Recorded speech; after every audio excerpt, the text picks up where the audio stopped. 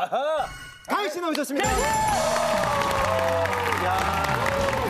아니 근데 사실 오늘 약간 그 혼자 나오신 분들은 진짜 엄정화 씨의 배를 잇는 그런 후배 가수분들이 나오시면 나이비 씨도 그렇고 가인 씨도 그렇고 아니 엄정화 씨와 또 친분이 있으시잖아요, 가희 씨. 워낙에 엄정화 선배님을 너무 좋아하고 제가 인터뷰에서도 굉장히 말을 많이 했어요. 오- 오랜 기간 동안 오늘 가장 견제되는 팀 누가 있습니까? 이렇게, 이렇게 딱 봐도 AOA 친구들 너무 이쁘잖아요. 그래서 사랑을 좀 빼앗길까 봐 약간 좀 시기 질투, 시기 질투 이런 거 정원이 네. 제가 너무 좋아해서 그 사랑을 네, 빼앗길까 봐 귀여운 욕심이네요. 네. 네. 아니 그러면 AOA가 멤버가 진짜 많잖아요.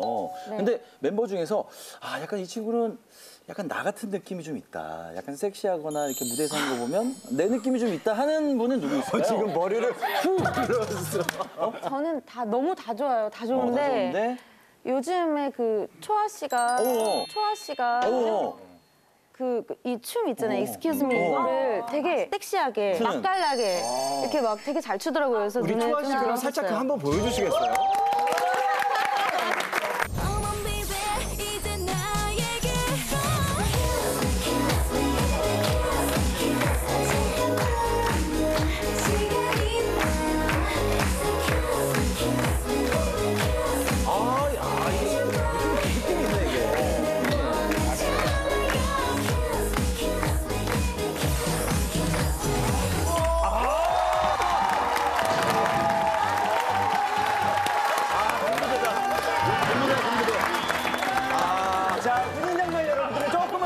우리 서른 씨는 어때요? 이렇게 엄정화 씨 어떤 부분이 아, 어, 저 언니 닮고 싶다라는 생각이 들었어요? 어, 무대를 정말 완벽하게 하시는 모습을 보고 너무 멋있으셨고 계속 발전을 하시는 모습이 정말 본받고 싶다는 생각이 들었어요. 아니, 지민 씨. 네. 지민 씨는 그 개인기 같은 거 준비하셨어요?